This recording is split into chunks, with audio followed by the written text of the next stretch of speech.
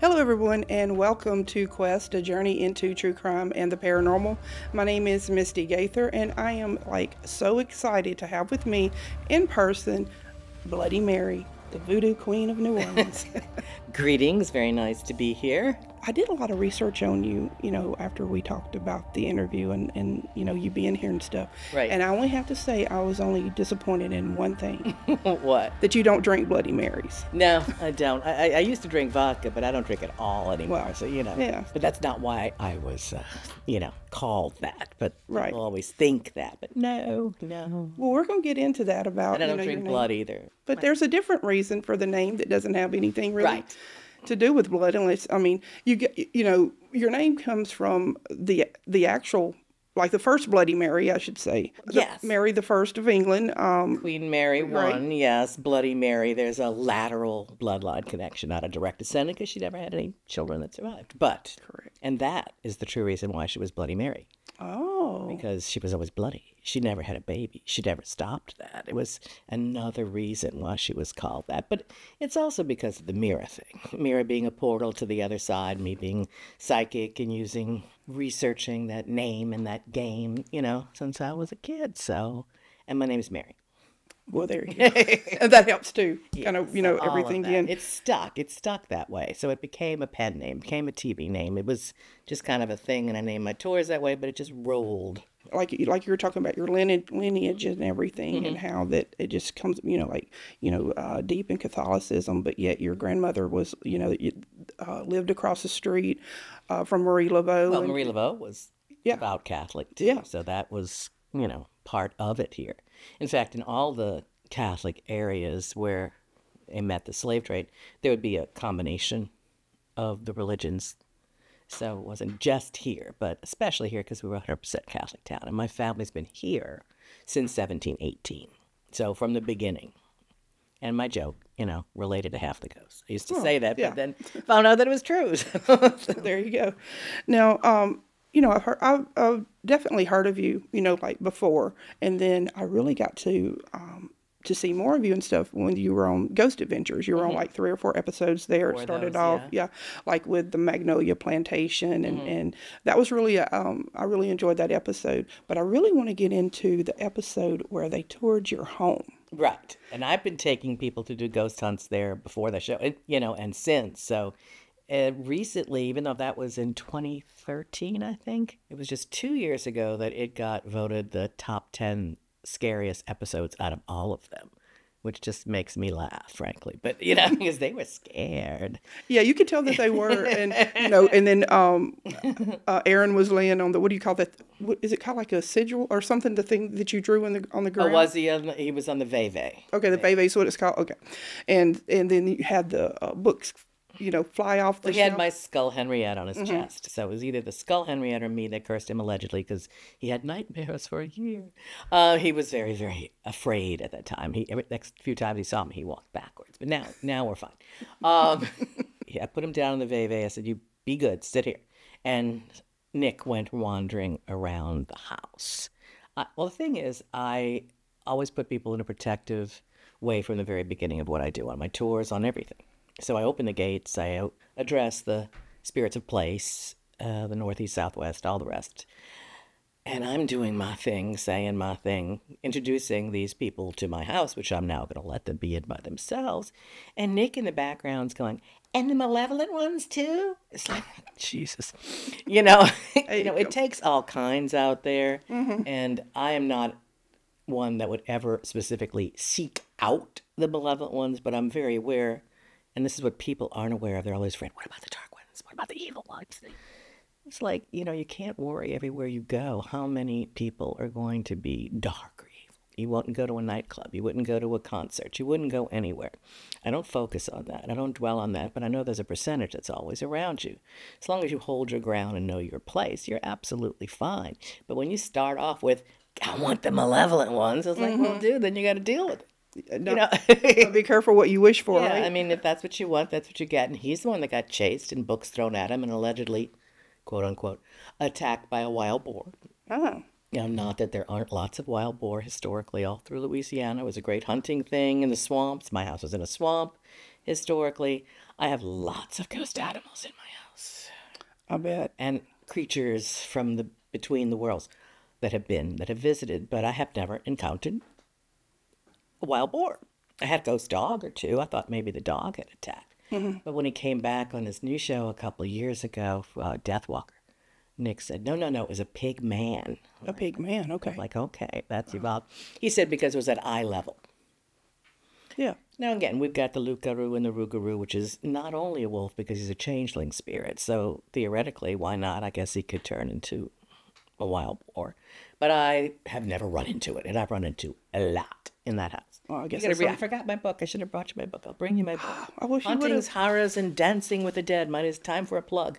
Yes, and you know what? and what is so cool also, uh, not only the name of the book, uh, but it also has a review by Priscilla Presley. No, that's another. Book. That's another book. It's That's a not different the, book. That's the voodoo book. the voodoo book. Okay, well that's still cool because I mean Priscilla Presley. I mean that's Dad, I'll have to call her and ask her what she thinks of the one I'm working on now. yeah, Call her to the ghost box. that would be cool. Yeah. I'm going to call on Anne Rice, um, Tennessee Williams. Oh, okay. and Chris Owens to come to the haunted contest we're doing on the 13th as ghost judges. So we'll see if we get any answers from them on what the most haunted is at the museum par- paranormal party there. So hey, you know, we call on spirits, we see them for other things. We might as well have them at a party too. And you know, I could really see Chris Owens judge. Sure. You know, like doing it. I mean, she would enjoy that. You know, Absolutely. for real. You know, all of them would. I'm sure. she's been gone at least her proverbial year and a day that you need to wait. So she she can be invited to the party. Yeah, she, she would like that. Yeah, maybe do a not? routine or And something. Tennessee Williams used to live like right behind my courtyard wall. Mm-hmm. And when there wasn't always walls, they would walk through. So in life, he was there and he's been spotted a few times, you know, when we do some of our ghost hunts and seances. So, and I'm going to ask Ruth Bader Ginsburg too, because we need judges, We do. you know. So She was badass. I don't know if she liked anything about ghosts, but We're gonna find Well, out. I mean, now she's got to at least acknowledge them, right? I mean, she's one of them, so you got to at least. So I'm going to invite her a special judge. Yeah, we can see a judge for a judge. Yeah. yeah. You know? Um, you know, your home. What I was going to ask you is in that area there um, is where one of the victims or two of the victims, like the last victims, I'll get it together. something I'll continue on um, of the Axeman in that I, area. You know, I'm the only one that does that story Mm-hmm. at the building. I have a great, non very scary story about it for you. So I have a display up for the Axeman at the museum. I have an axe for him as well. Mm. Very, very generous because he never used his own anyway. He only stole that of the people's houses. So there was a um, a Sicilian grocery store in the corner because it was all Sicilians that that got attacked. So many people thought it was the Black Hand, you know. So I was looking at the little map and I say, oh, well, this one's kind of en route. If I'm going to come up Tulane and zip around, I could drive by this one on my tour before we go to my house and do the ghost hunt. I said, I'm going to do that. I'm going to go do some research. So I decided to go inside to, you know, ask the people there if there was any residual energy, if there was any ghosts, you know, and I'm doing my due diligence. I walk in and now it's a Spanish bodega and none of them seem to speak English. So I was like, oh, I'll still try. So I go in. There's a cop at the door and he's thinking he's the London guard. You know, he's not breaking a smile or a sweat or moving and looking what's going on. So I am going up to the guy behind the counter and I'm like, you know, is there any ghost activity here? And he's looking at me really funny. And I'm like, oh, Jesus. Um, I said, you know, this is where there was murderer, you know, murder. And then he was like, uh, Axe Man, you know, you know, Axe Man, like Axe, you know, Axe, Axe Man, acted it out. murder, and phantoms, ghosts. I'm doing all this pantomime because he doesn't understand Right. English. There's a few people behind me in line, the cops at the door not paying attention. The guy's eyes are getting bigger and bigger. And I'm like, you know, ghosts. And I'm doing all this stuff. And I slitted throats. And, you know, guys just freaking the hell out. And finally, I'm just like, all right, whatever. You know, he had a great story to go home with. But no, I didn't get any information. So I don't think there's any ghosts left there. But it was a good story. Well, you tried, and I was just thinking, like, if if I ever need a partner for like charades or something, you know, you'd be my first I one was on the list. never big on charades, but I was really trying to get my point across, you know? And Yeah. the crazy white bitch, you know? Well, I was just wondering if do you think that because I know at Richard Hale's home, you know, he has a lot of activity, Mm-hmm. and, and even when I was there, we had some things move and Mm-hmm. you know stuff, and I know that you know that you have things at, Mm-hmm. at your home too. Do you think that that is just intertwined, or is it just a, a Intertwined fluke? with what? with intertwined like with like the area. You know how like an area can be haunted or what, or you just think it We're all pretty stands. far. We're in a t- we're in a kind of different. Okay, the even thing- it's okay. close in blocks. No, no, it's not nothing to do with that. Okay, probably more intertwined with the fact that we are psychically Sure. in tuned and things are attracted to people that are. Now, my house came with ghosts. I Mm-hmm. took my work home with me, like he would, and then I had a haunted collection. As does Richard, for I believe that he's taken most of his furnishings from place to place as he's moved around. So that has energy that comes with it as well. And he does psychic readings for a living. And when you deal with other people, you bring some of their stuff home with you. So I believe that some comes with the place, people that live there, and some comes with the things, and some comes with you. yeah. Now, in, in a haunted house isn't static. Uh, it changes as the people change. You know, there was a drastic change from the time when I rented it from when I bought it. You wouldn't think that that would make much difference, but it did. It woke up a few extra ones. When my son moved out and got married, it, it seemed like it changed. But that was around the same time I opened the museum that I took a lot of my haunted artifacts out and brought them there. So different things change. Other people around me unfortunately died. Um, my mother, a few other friends. That could add to the entourage. So, and sometimes they just simply don't want to talk to you. Sometimes they don't want to shut up. You know, so it's just a it's just a thing. Yeah. Well, I was just going to ask that because you know, I and uh, of course it makes sense with y'all, you know, being psychic and and all you know all that that it would be in your home and then bringing things and from everything. So you know that makes sense too. And of course, I was, I have to admit, I was kind of hoping just a little bit. It had just a tad, maybe to like the Axeman too. I don't know. Oh, I, I mean, I, I don't know. It might certainly not my house. right. Uh, maybe he, you know he's on the opposite corner. Yeah, of he, it. he said um, when I had uh, talked to him about it, um, Mm-hmm. and he, he was also on my, on my show, and you know he, he felt like some of some of the activity could possibly be from him, you know, from the Axeman too.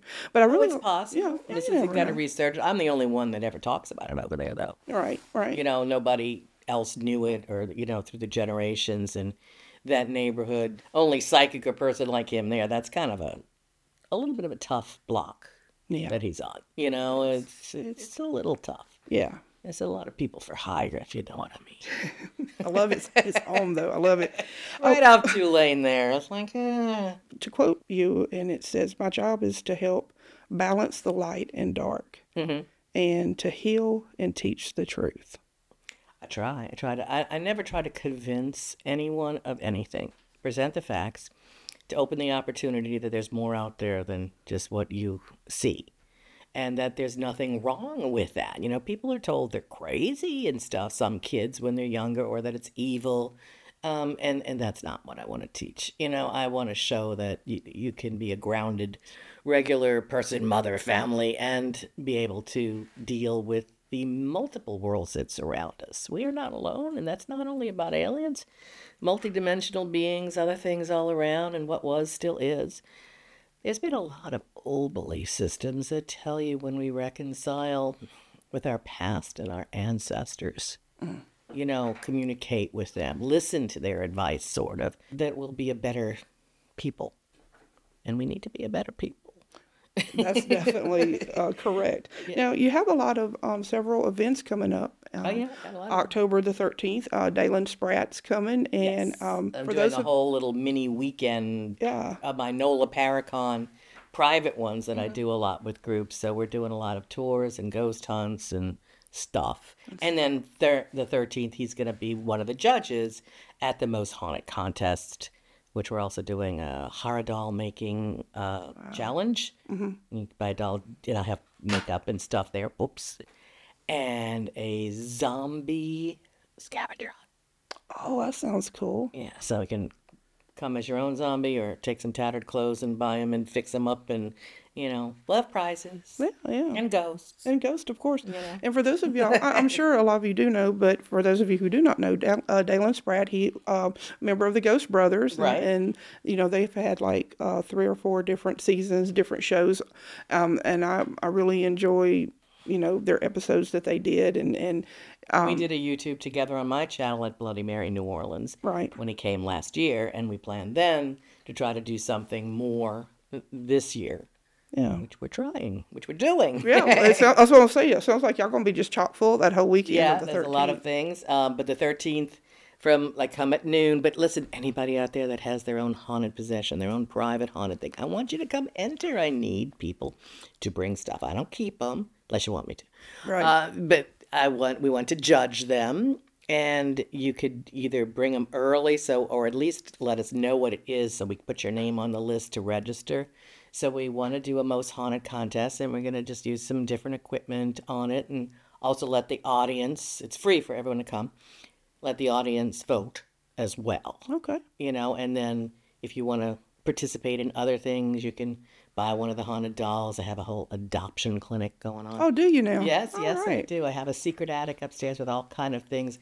Everybody always wanted to buy my stuff that's in the museum part, and I do own the Haunted Museum and Mystic Institute downsta- downtown on Rampart. So I start getting some and nurturing and working with them, and some of them have spent their time in both my house as well as the Marie Laveau cottage because I've rented that as well to do research while I'm writing my next books in there and making all kind of dolls because I make a lot of living voodoo dolls too. Nice. How about that? I do a lot of stuff. Yeah, it sounds like it. That's, yeah. Busy bee. yeah, I love my city. Yeah, I love her do. spirits, are, and you know I, I love all all the different spirits that are around. So I like to teach. yeah. And like um also this Halloween you're having Patti, is that right? Patti Negri's coming Yes. to town. We're just going to do a opening of the gates, quick opening ritual early. Mm-hmm. You can go out and do what you're going to do on your own and not interfere with parties or things like that. So I think it's right at five o'clock. We're going to open the gates, salute the spirits and the invisibles that come in, and then the rest is up to you. You got to close gates at the end, you know. well, I will try my best to be there for that. Uh, she's do. been It'll be a, a quick thing. Yeah. yeah, it, she's been a guest on my show, and I just you know just really enjoy her her presence and and uh, very very amazing um, person. But you were on an episode in Ghost Adventures with Patti. Yes, the Uh, opening of his museum. exactly. And I really Actually, a little bit before it was open. yeah, yeah. like was it 2017 something? Now I've been there um, at the museum. It hadn't officially opened yet. He had a lot of red okay. tape to get through. Right. So that was whatever year it was opening. I, I went there in me 2019. I opened a little bit before he did. So my haunted museum was at the 10 year anniversary of a very dark chapter in that building and our town, Yes. Katrina. So Katrina was 2005 and 2006. So it was like 2006, I think, that, uh, right? No, and plus 10. 2016 that I think I did his show. So there. Yeah, so the episode was probably it aired. I think A little on Halloween. yeah, yeah. That following Yeah. Halloween. Right, Yeah. right. So, I, um, what happened, if you haven't seen the episode, is he had Bloody Mary, he had uh, Patti Negri, he had Lady Snake, and Sebastian. He had, and it gave you each, um, Different area. yep, different areas and different, um, maybe some uh, some of the haunted objects. And I really liked what you said, and I was like, it sounds like a night. remember what I said. I'm gonna tell you what you said. No. Okay, tell me what I said. and it's and it was Oh, as I got mad at him about the dolls, but yeah, yeah, yeah, yeah. No, this was before. This is when you, we first was getting started, and I was like, "Oh, that sounds like a night on the town with me." You said, "I need water, candles, and liquor." Okay. Yeah, and then he like, uh, "You wanted the snake," and and so it was really cool. I had a snake. Yeah, it, well, it was in a jar. Oh, okay. Yeah, yeah, and so it was really cool how everybody had their own area, and you didn't know who was there or what was going on or whatever. I didn't know where they had put the other people. Right. I had seen, I had met Sure. the other people, but we Right. didn't know what we're doing. Right. We were supposed to do a seance, and then it backfired. Well, one of the persons couldn't get there, and Zak, Zak was not feeling well. It was, you know, just different things. Yeah, that was really. It's one of my favorite episodes because it was. Yeah, I, I really, I really enjoyed it because. watch it more. Yeah, you like, go go and do it like a I don't, I, refresher. don't, you know, I don't like watching myself, and it's like it'll, it'll nothing wrong with that. "Ah." Uh, you were laying down and did you know had the did you have a doll? yeah. Yeah, that was it. Which I, Which, I, you, which you told me was the devil, but it wasn't. yes, You know, yes, wasn't the devil. It was a doll. yeah. Some people were disappointed, but It wasn't the devil. It wasn't the devil. Everything's got to be so dramatic. No, it wasn't the devil. Yeah, Um, no, I just really saw like the doll at a at a at a tea party playing with the little girls and people that were playing with her back then, and I said, "Oh, she wants a tea party," and he lost it. I'm not buying any gifts for, the devil. you know. I was like, it's like, well, I'm just telling you what I saw, you know. He's like, that's evil. I was like, yeah, well, I sent him a damn tea set. Oh, you did. I said, I said, here, cheap. Uh, Well, I said, excuse me, I didn't say it him. I said it to the dog. Yes. You know, and he said, from what I hear, because they talk about me on the tours there, Mm-hmm. you know, they said, well, Bloody Mary said this and I accepted it. And it's like, except now they say I'm dead. It's like, I'm not dead out there, okay, people? Um, Lady Snake is dead. She died. She died did not know about a year and a half ago. I don't know how or anything like Oh that. Oh, wow. But somehow, because she died, everybody thought I died. Okay. Right? You know, and I had a call and was like, Would you tell your tour guides I'm not dead? You know?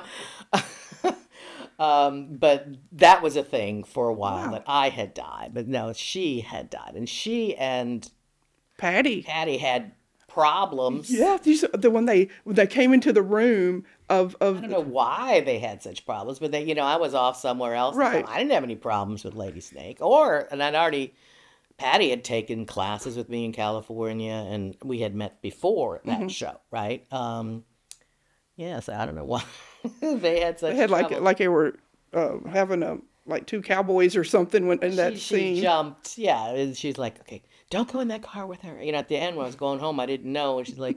Come in the limo with me. Come in the limo with me. I don't want to be with her. And I'm like, okay.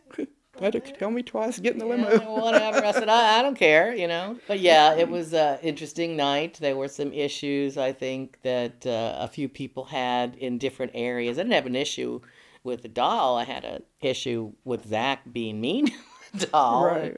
And I, I remember saying later, I was like, are, are you mad that I talk back to you? He's, oh, hell no. You know, like, if that's what you feel, that's what you feel, you know? I was like, but I love dolls.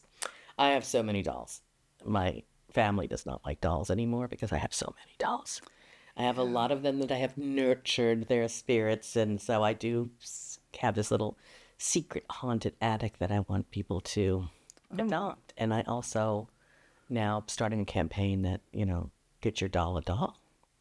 Your doll wants a doll.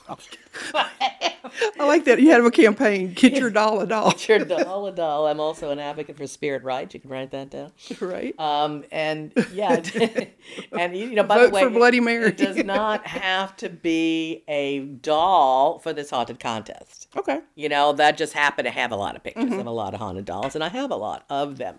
But it could be anything. Anything can be haunted. Anything can be that connection. One of my one of my biggest hauntings is uh, wheelchair from Charity Hospital. Now, yeah, Now, that, would comes be. with a lot of spirits, not just one, because it's a very old, old Mm-hmm. wheelchair. You know, so there's that, and then there's this thing about an oven I've got. Let's talk about. You know, Let's that- talk that- about- that- talk about the ultimate of haunted items. Yeah. Yeah. You know, uh, because that's got that's like a relic. It has a blood print. It has literally something in it. And you know, when you're looking out or you're thinking you've got haunted artifacts and something's going on in your house, and you're looking around your house, bro, of the last place you're gonna think is, oh yeah, it's the oven. By the way, yeah. You know, you're gonna look at the this and that, but no, you know, it is definitely now. They came just so everyone knows. 'cause I got blamed for this. They came with the apartment. You know, 10 years of tenants lived up there and cooked and ate out of the refrigerator and oven that there was the tragic murder suicide of Addie Hall in. Um, I had not cooked in it or turned them back on, Yeah. but they become memorials.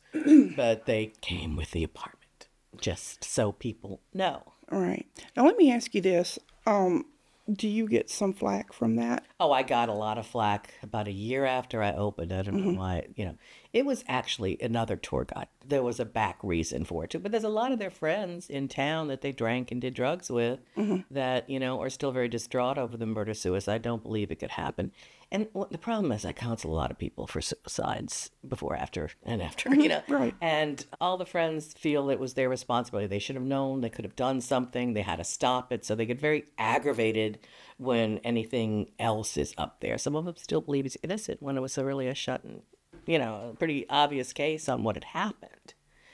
So, um, yeah, there were a few of his drinking buddies that were still around. However, on the other hand, I've talked to many people that he served in the war with that have come and we've helped console, and that's helped calm Zach down. I've spoken to best friends of Addie when they were in high school and people that have worked with her that we've gotten along very well with. Some of the people that actually are in there to help those spirits heal uh, get along with very well. There's a few, you know, more local people that were in that time that probably are very destroyed still over what happened and kind of feel responsible. And they have to, just like the spirits both had to face what went on. Addie didn't believe that he did this to her. Addie didn't want to, you know, she was like in the moment of death when I first got there, which was the 10 year anniversary of this event. Some of the most active times are anniversaries and um, you know things like that renovations Oh, it was yeah. both you Yeah. know we had a fire and i was redoing the place and it was the 10 year anniversary it was like it was happening right in front again right over and over again but you know it's not the zach and addie museum and Correct. you would be very hard pressed to find a building in new orleans that there hasn't been a murder or suicide in in the french quarter in old buildings like that you know Yeah, because I actually got to thinking about it. Some people, I'm not saying, you know, just with you, but just like in general, you know, like places of death, and then you know, like have tours or or whatever, and and then you know, well, they're making money off of it, and to me, it's really not that much of a difference of having an open like home and doing tours and you know and then the people who have you still have haunted to homes maintain the buildings. Right. You still have to. is it is it like intent? You know, like if I think if your in, your intent is Mm-hmm. to do it in a in in a way, you know, I mean, first of all, to rebuild that building was a fortune, sure, and I'm never going to probably recoup all of that. Mm-hmm. Old buildings take a lot of maintenance, a lot of Yeah. maintenance. You know, stairways and things like that. So there's all sorts of historic buildings all over the world Mm-hmm. that people tour through that are very difficult. But you have to maintain these buildings and the history, and um, a lot of, as you know, a lot of ghost stories started off with a murder. that very true. Not all of them no, because I try to tell people you don't have to die in a place to haunt it. It could be a place you loved. It could be a place, you know, where lots of things good happened as mm-hmm. well. And I'm not a murder person or a serial killer person or anything like that. This was something I stumbled into for a very different reason than most people think. I knew that there'd be problems with jealousy, which mm-hmm. of course there always has been with me with other tour companies. There'd be a problem with that, and there'd be a problem because of what it was. But it was haunted before. It was, you know, the Zach and Addie murder house, you know? And they are just a long line of spirits that are there. I have at least 16, 17 spirits that we've, that are more regulars, and then a ton of stuff that comes with the haunted artifacts themselves. But what are you going to ignore Zach and Addie? Pretend like they're not there? You know, they need, they're the ones that need the help, not the other ones. Addie's done a lot of growth, and she's gone more, she's back and forth, but she's mainly gone. Uh, m- more than stuck there like she was when I first got there.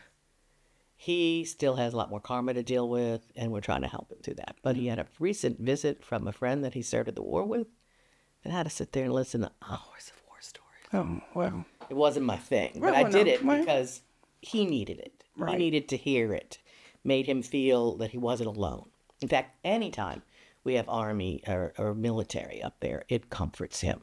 I always know it's going to be an interesting night when some, you know, depending on who's visiting.